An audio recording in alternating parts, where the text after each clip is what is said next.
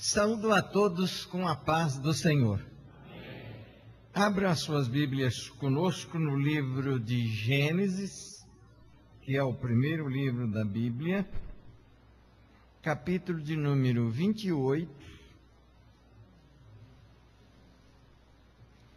Gênesis, capítulo de número 28. E passamos a fazer a leitura a partir do versículo de número 10. Gênesis 28, 10. E vamos ler até o versículo de número 22. A visão da escada de Jacó e a partir do 18 é a coluna de Betel. Partiu, pois, Jacó de Berseba e foi-se a Arã. E chegou a um lugar aonde passou a noite, porque já o sol era posto. E tomou uma das pedras da quereira e deitou-se naquele lugar. E sonhou. E eis uma escada. Era posta na terra, cujo topo tocava nos céus. E eis que os anjos de Deus subiam e desciam por ela. E eis que o Senhor estava em cima dela e disse: Eu sou o Senhor, o Deus de Abraão, teu pai, e o Deus de Isaque.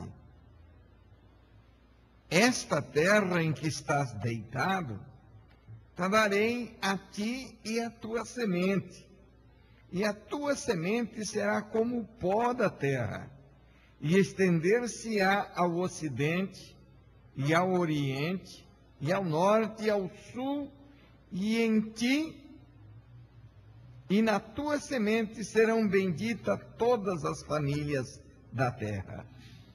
E eis que estou contigo e te guardarei por onde quer que fores, e te farei tornar a esta terra, porque te não deixarei até que te haja feito o que te tenho dito. Acordado, pois Jacó do seu sono, disse: Na verdade, o Senhor está neste lugar, e eu não o sabia. E temeu e disse: Quão terrível é este lugar! E este não é outro lugar senão a casa de Deus, e esta é a porta dos céus. Então levantou-se Jacó pela manhã de madrugada, e tomou a pedra que tinha posto por sua cabeceira, e a pôs por coluna e derramou azeite em cima dela. E chamou o nome daquele lugar Betel. O nome, porém, daquela cidade dantes era Luz. E Jacó votou um voto, dizendo: Se Deus for comigo e me guardar nesta viagem que faço, e me der pão para comer e vestidos para vestir, e eu em paz tornar a casa de meu pai, o Senhor será o meu Deus. E esta pedra que tenho posto por coluna será casa de Deus. E de tudo quanto me deres, certamente te darei o dízimo. Amém? Podeis assentar.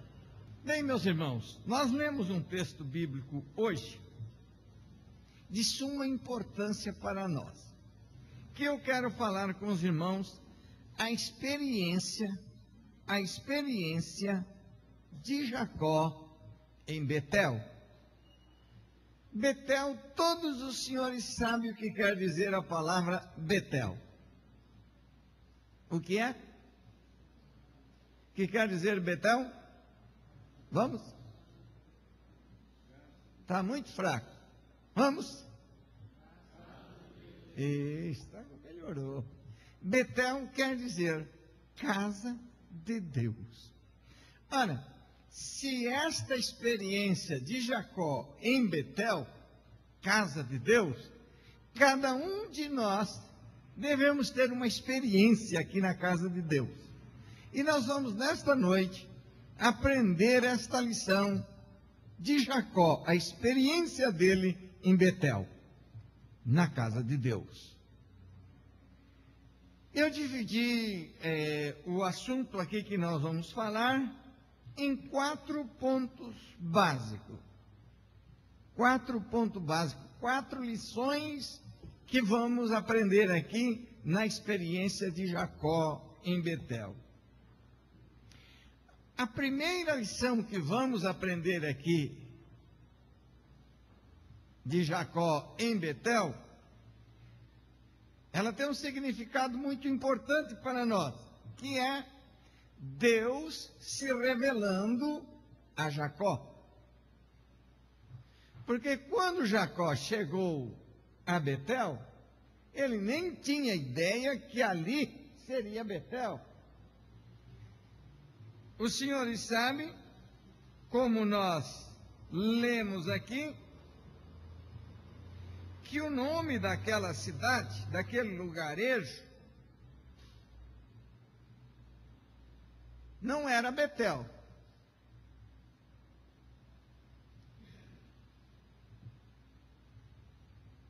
Não era Betel. Betel para Jacó era desconhecido, né? O nome daquela, daquele vilarejo, daquela cidade antes era Luz. Luz. Anoiteceu, apesar de o lugar chamar Luz, mas anoiteceu, estava escurecendo, e Jacó disse: Bom, eu não vou viajar à noite, vou dormir aqui mesmo. Procurou um hotel cinco estrelas, né? procurou um hotel cinco estrelas e passou a noite. Aliás, não foi hotel cinco estrelas, hotel Luar, né? Hotel Luar. Tinha muito mais de cinco estrelas, né? Pegou uma pedra, colocou como cabeceira, e eu não sei como, mas o certo é que ele dormiu. Dormiu que chegou a sonhar. Eu não sei se dormiria. Mas talvez o cansaço, a caminhada, o fez com que ele dormisse, adormecesse.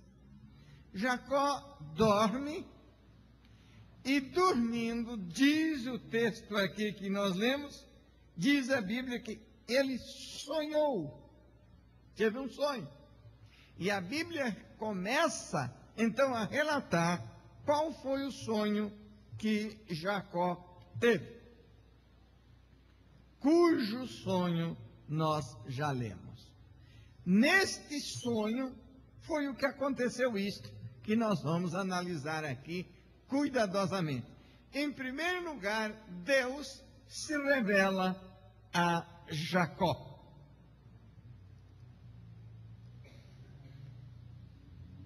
Ele, Jacó, tinha conseguido por maneira errada a primogenitura. Ele tinha primogenitura, mas não conhecia Deus. E o mais importante para Jacó não era a primogenitura. O mais importante para Jacó seria ele conhecer a Deus. E como ele poderia conhecer a Deus se Deus não se revelasse a ele? porque ele teria que ter uma experiência com Deus. Nós, irmãos, não podemos, não podemos viver de experiência dos outros. Eu não posso chegar aqui nesse púlpito somente dizer: olha, irmão, é, aconteceu isto com Jacó, é, lá em tal lugar, assim, assim aconteceu com Abraão e com Isaac, e com Gideão, e começar a citar a Bíblia do começo até o fim, as experiências que os homens tiveram com Deus, e eu não ter experiência nenhuma. O importante não é apenas você conhecer, saber a experiência que outros tiveram com Deus. O importante é a tua experiência com Deus. E Jacó precisava disso.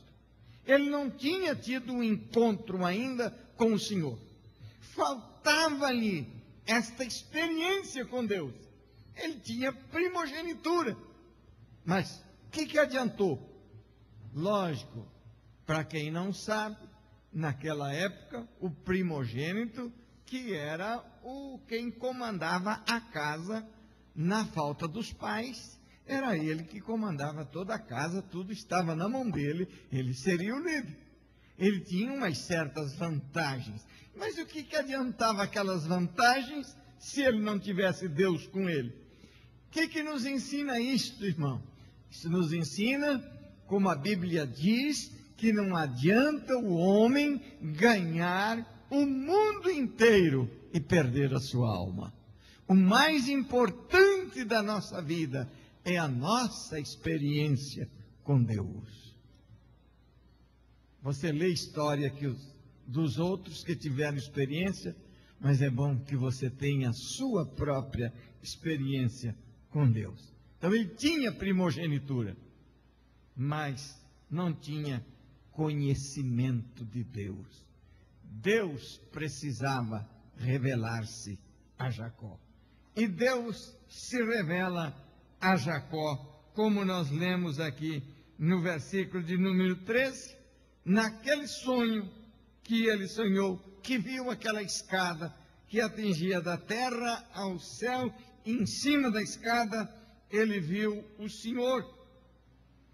E o Senhor estava em cima da, casa, da escada e disse a ele: Eu sou o Senhor o Deus de Abraão, teu pai, e o Deus de Isaac. Era Deus se revelando a Jacó. Jacó tinha ouvido falar muita experiência. Abraão certamente tinha contado muitas das suas experiências com Deus. Seu pai também teria contado muitas experiências que Isaac teve com Deus, mas Jacó só ouviu falar. Mas agora ele tinha a própria experiência. Deus se revela a Jacó. Eu sou o Deus de Abraão e o Deus de Isaac. Glórias ao nome do Senhor. Meu irmão, Aqui é o lugar de Deus revelar-se a você. Ele quer que cada um de nós tenha uma, uma experiência com Ele. Ele quer que cada um de nós tenhamos a nossa própria experiência com o Senhor. Olha, irmão, eu não vou contar as minhas experiências com Deus, porque o tempo não permite. Mas são tantas, são tantas, e é isto que me faz permanecer firme nos caminhos do Senhor.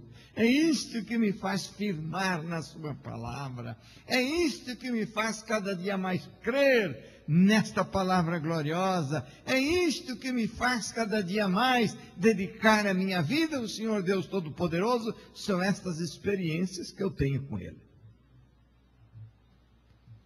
Se você não tem, diga para Ele que você quer ter esse conhecimento glorioso dele, que ele vai revelar-se a você. A maneira é a maneira que lhe apraz. Nós não podemos determinar maneira nenhuma, porque a uns ele se manifestou de um jeito, a outros de outro, porque ele usa a maneira que lhe apraz para se revelar a cada um de nós. Mas glórias ao nome do Senhor, que você tem a sua própria experiência com o Senhor Deus Todo-Poderoso. Deus revela a ele, quando disse: Eu sou Deus de Abraão e eu sou Deus de, de Isaac. Além de se revelar a ele, expressando desta maneira, Deus confirma a Jacó a sua promessa. quando ele disse que era o Deus de Abraão, de Isaac, e esta terra em que você está deitado, te darei a ti e a tua semente. Glórias ao nome do Senhor. Além dele se revelar, ele faz esta confirmação a Jacó. Jacó tinha ouvido contar esta história por seus pais, mas agora, glórias ao nome do Senhor, ele mesmo tinha certeza de que Deus iria dar a ele aquela terra, porque ele mesmo tinha ouvido a voz do Senhor Deus Todo-Poderoso. Além de confirmar, além de confirmar a terra que ele daria a ele, Deus prometeu a multiplicação da sua descendência. Ele disse, na, na sequência, ele disse assim: a terra em que estás deitado, que ele daria a ele, te darei a ti e a tua semente. São promessas do Senhor Deus Todo-Poderoso a Jacó. Ele ouve aquelas promessas, agora ele não apenas ouviu do seu avô, do seu pai, mas agora ele ouve do próprio Deus no sonho que ele teve deitado lá naquele lugar. Além de Deus prometer a terra multiplicar a sua descendência, Deus fez uma promessa muito gloriosa a ele. E esta promessa atingiu até nós. Se você está aqui nesta noite, foi por causa desta promessa gloriosa que Deus fez a Jacó quando se revela a ele. Deus deu-lhe a promessa do Messias, quando ele disse assim: E a tua semente será como o pó da terra, e estender-se ao ocidente, e ao oriente, ao norte e ao sul, e na tua semente serão benditas todas as famílias da terra. Aleluia. Esta promessa atingiu até nós quando Deus, quando Deus faz a promessa do Messias, o Senhor Jesus Cristo, que agora, recentemente,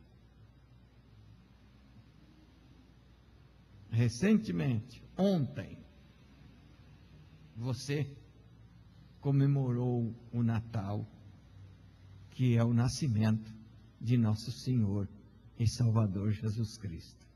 Lamentavelmente, lamentavelmente que as comemorações hoje, é como eu disse, interesseiras, hipocrisias, comes e bebes e nada mais. Poucos são o que se prostra diante dele e agradece pela vinda do seu filho a este mundo. Natal passa assim, como bebedeiras, como comes e bebes, como diversões, como festa. Hoje lembra-se muito de Papai Noel. O Messias foi trocado pelo Papai Noel. Fala-se muito do Papai Noel, mas do Messias, do Cristo que veio a este mundo que deu a sua vida por nós ali na cruz do Calvário, não se fala quase nada, só do Papai Noel. Que Deus tenha misericórdia de nós e nunca vamos nos esquecer desta dádiva gloriosa que o Pai Celestial nos deu. Que Deus amou o mundo de tal maneira que deu o seu Filho unigênito. Esse presente tão glorioso. Além dele mostrar é, dar-lhe a promessa do Messias, ele se fez representar como seria, como seria a ação do Messias. E ele teve esta visão em forma de uma escada que atingia da terra ao céu. A escada estava na terra e o topo dela atingia o céu. E na escada, descendo e subindo, anjos. Foi esta a visão que Jacó teve. Mas esta escada representava a pessoa bendita e gloriosa de nosso Senhor e Salvador Jesus Cristo. Você diria assim: como, pastor, que uma escada vai representar a pessoa bendita de Jesus Cristo? Por dois motivos que eu quero mostrar a você nesta noite, que esta escada representava a Jesus Cristo, porque era o contato entre terra e céu o contrato entre terra e céu. Ô irmão, se você examinar cuidadosamente as palavras do Senhor Jesus Cristo, você jamais poderia chegar ao Pai senão por senão por ele, Jesus Cristo. Você nunca teria esse privilégio de chegar ao Pai. Ele disse: Ninguém vem ao Pai senão por mim. Ele era o contato da terra ao céu. Além de ser o contato, não é apenas outro fator muito importante, irmão. Além de ser o contato, é a comunhão. A comunhão entre Deus e os homens. Glórias ao nome do Senhor. Essa escada representava o contato entre o céu e a terra e a comunhão entre Deus e os homens. Os senhores lembram-se que a Bíblia deixa claro que o pecado fez uma. O que, que o pecado fez? Separação. Separou o homem de Deus pecado fez uma separação. Mas glórias ao nome do Senhor. Jesus Cristo fez esta união novamente.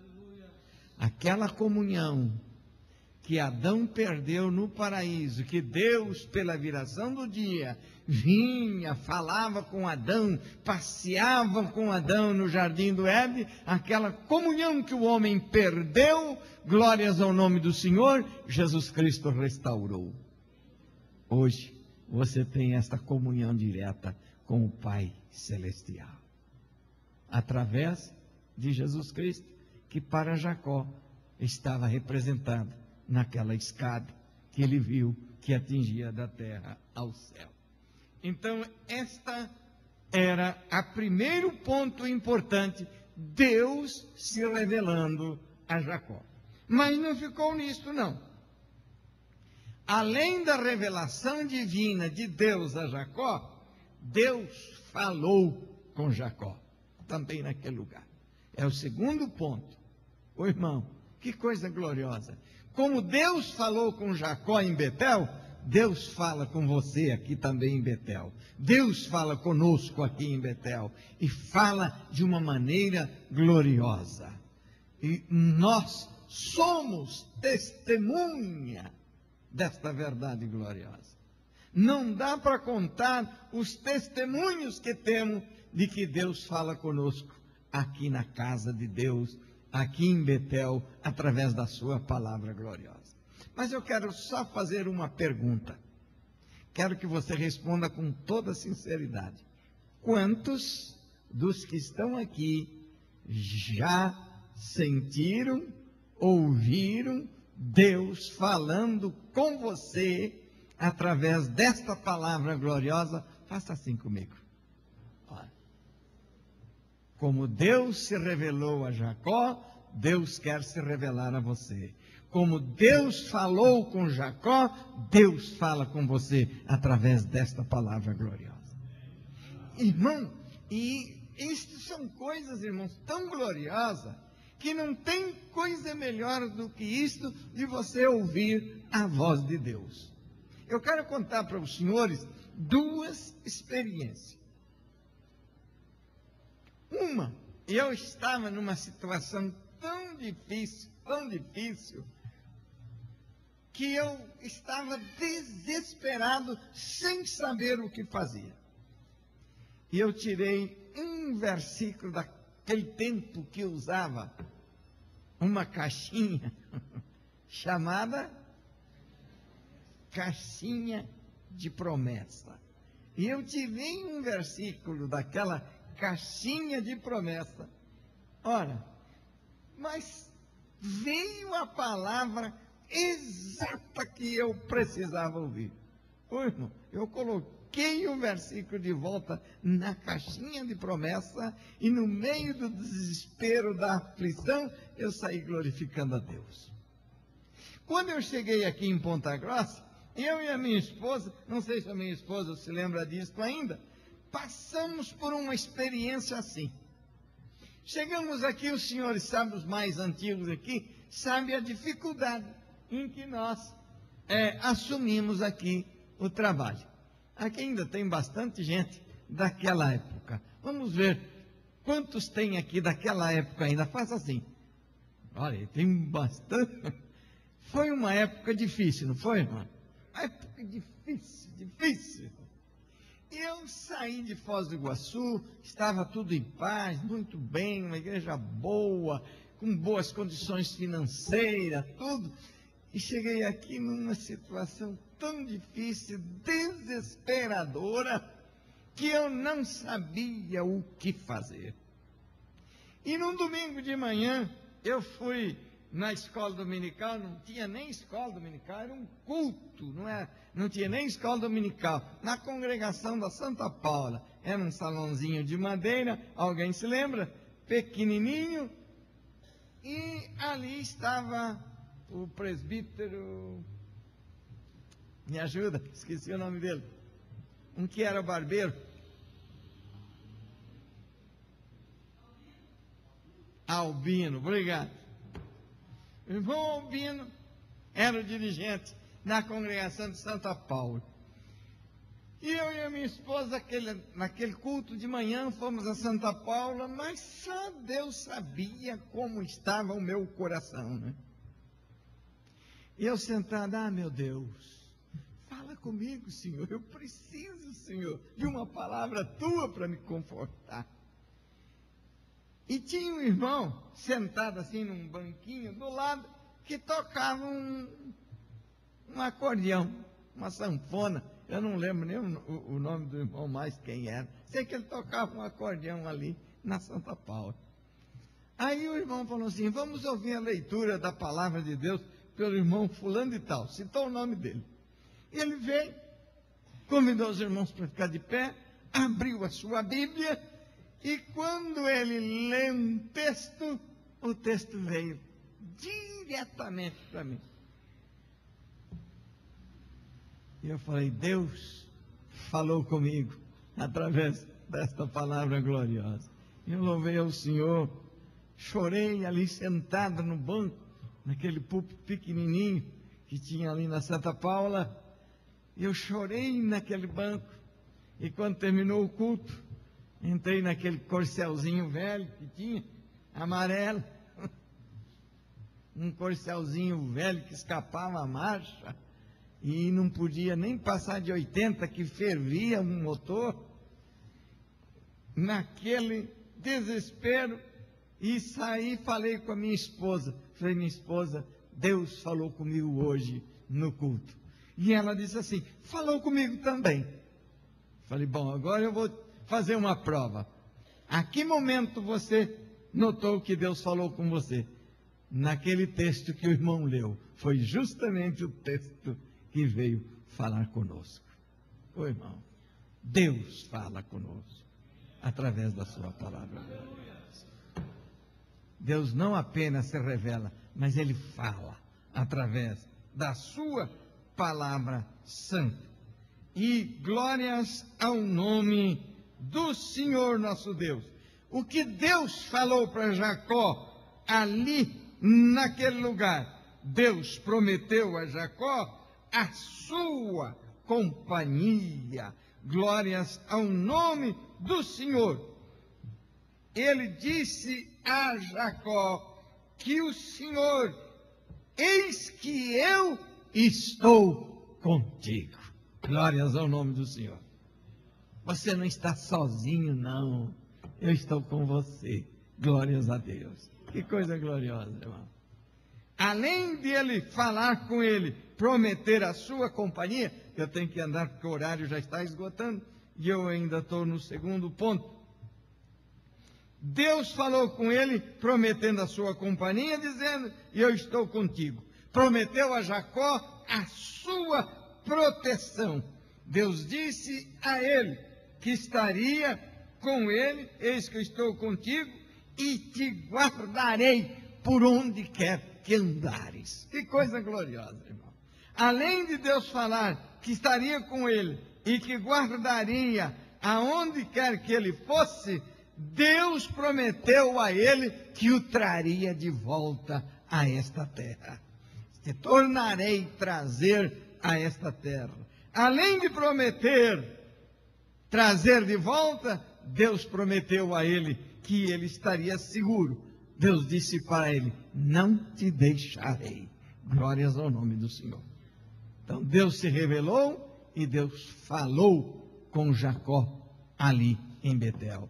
Deus se revela a você aqui na casa de Deus e Deus fala com você através da sua palavra gloriosa aqui em Betel.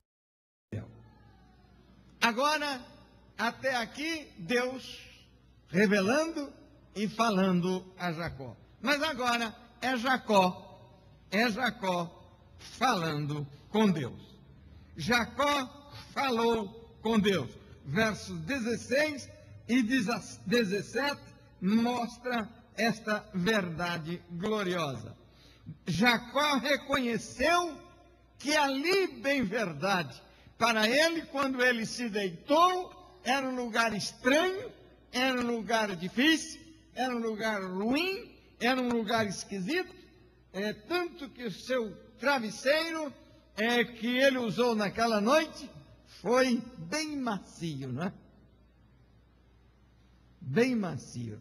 Você já deitou com a cabeça em cima de uma pedra, de um tijolo, de... é bem macio mesmo, né?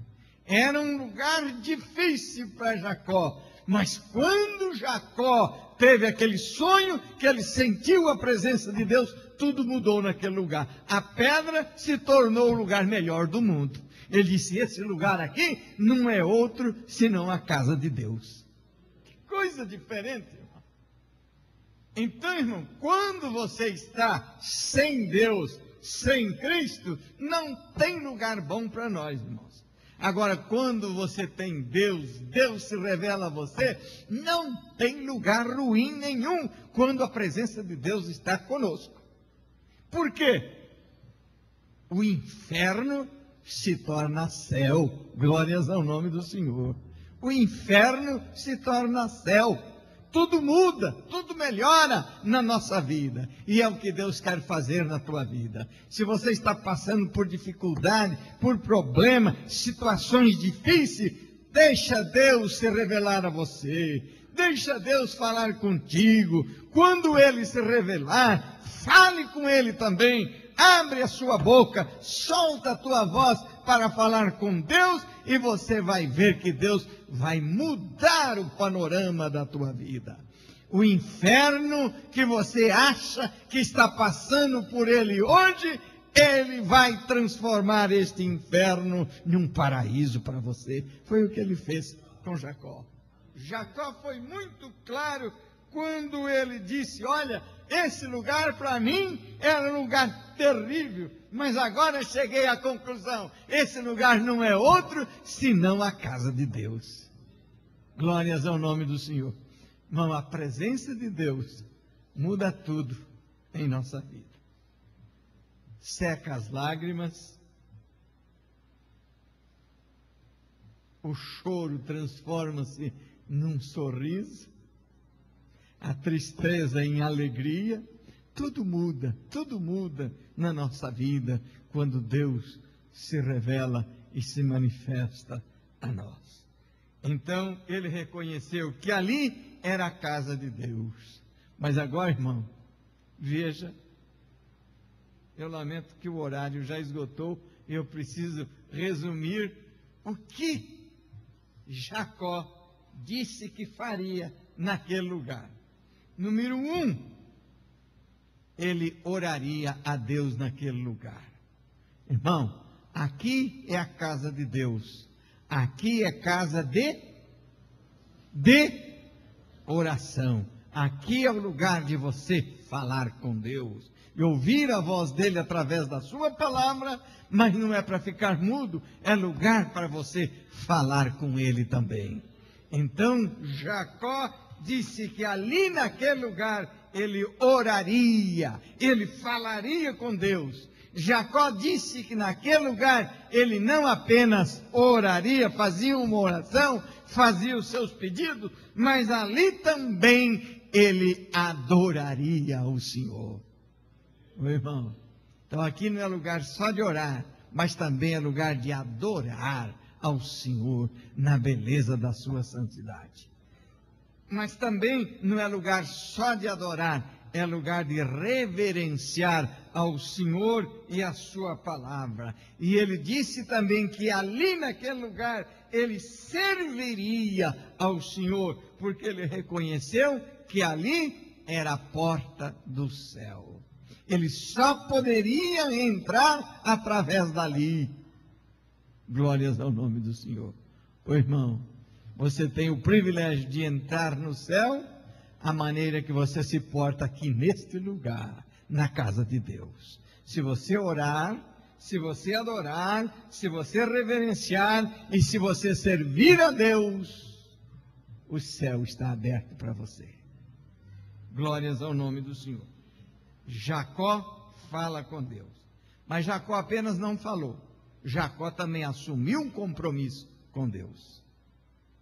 E é o que você tem que fazer. Você tem que falar com Deus aqui, tem que adorar, tem que servir, mas também tem que assumir um compromisso com Ele e a Sua palavra. Em Betel, Jacó se comprometeu com Deus, que está aqui no versículo de número 20 ao 22. Eu até vou ler. E Jacó votou um voto dizendo: Se Deus for comigo, me guardar nesta viagem que faz? Me der pão para comer e vestido para vestir, e eu em paz tornar a casa de meu pai, o Senhor será o meu Deus, e esta pedra que tenho posto por coluna será a casa de Deus, e de tudo quanto me deres, certamente te darei o dízimo. Jacó assume um compromisso com o Senhor naquele lugar. Glórias ao nome do Senhor. Irmãos, nós temos que assumir um compromisso com Deus aqui nesse lugar. Ele orou por companhia divina.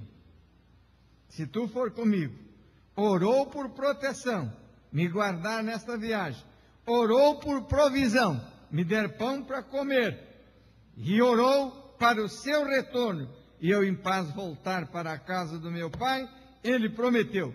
Número um, eu vou encerrar com isso. Número um, consagrar a sua vida a Deus. Número dois, aquele lugar seria a casa de Deus. Número três, de tudo que o Senhor lhe desse, ele daria o dízimo ao Senhor. Foi o compromisso que ele fez com Deus. E é o compromisso. Se você quer ser abençoado, tem que fazer também com Deus e a sua palavra aqui em Betel. Eu vou parar, porque o horário já esgotou. E eu convido para você ficar em pé para nós despedirmos com oração. Que a experiência de Jacó em Betel se repita na sua vida aqui na casa de Deus. Como Deus se revelou a ele, que Deus possa se revelar a você. Como Deus falou com ele, eu creio que Deus fala com você. Como Jacó falou com Deus, eu creio que você deva também falar com ele ainda nesta noite. Como Jacó assumiu um compromisso, se comprometeu, assumiu um compromisso com Deus, você deva também, nesta noite, assumir um compromisso com Deus. Número um, entregar seu coração, a sua vida a Ele. Número dois, segui-lo fielmente. Número três, estar aqui na casa dele, na casa de Deus, falando com ele e ouvindo também a sua palavra. E número três, assumindo um compromisso com Deus e a sua palavra. Se você fizer isto, saiba que o céu estará aberto para você. Que Deus abençoe. Oremos ao Senhor nesta noite. Pai Santo que estás nos céus, louvamos o teu nome através da tua palavra. Assim como tu tens se revelado a Jacó e a tantos outros, revela-se também àqueles que ainda não tiveram este encontro glorioso contigo para que te conheçam, Senhor, a ti, Senhor, como único Deus verdadeiro e a Jesus Cristo a quem enviaste. Ó oh, Deus, fala, Senhor, com aqueles que frequentam este lugar, como tu falaste com Jacó. Fala conosco cada dia através da Sua palavra aqui neste lugar.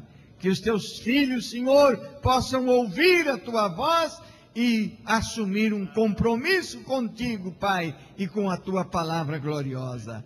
Deus Santo, abençoe a cada um dos teus filhos, a todos estes que vieram aqui nesta noite para aprender mais da tua palavra. Que eles continuem, Senhor, com esse compromisso glorioso de estar aqui na tua casa para ouvir a tua voz e também falar contigo, Senhor. Pai Santo, nos despede na tua paz bendita e gloriosa.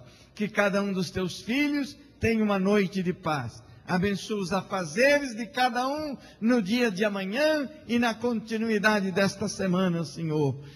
Te agradecemos, Pai, por todas as bênçãos concedidas, por todas as terça-feiras que tivemos reunido aqui no ano de 2006. Te agradecemos, Senhor, pelos teus filhos que vieram no culto, Senhor, para ouvir e aprender mais a tua palavra. Pai querido e glorioso, agora, Senhor, abençoa ricamente a cada um dos teus filhos, que eles possam, meu Deus, a cada dia mais, dedicarem suas vidas a Ti, entregar seu coração a Ti, entregar toda a sua vida a Ti, Senhor, e que tu possa dirigir a vida, os passos de cada um, Senhor, dos teus filhos. Que todo Senhor tenha um ano que se aproxima grandemente abençoado na tua presença, com propósitos gloriosos de te servir, Jesus. Pai querido, e eu te peço, Senhor, pela, pelo amor do teu filho Jesus, que deu a sua vida por nós ali na cruz do Calvário. Abençoa o teu povo, em nome de Jesus, nós te pedimos e agradecemos. Amém, Jesus. Amém.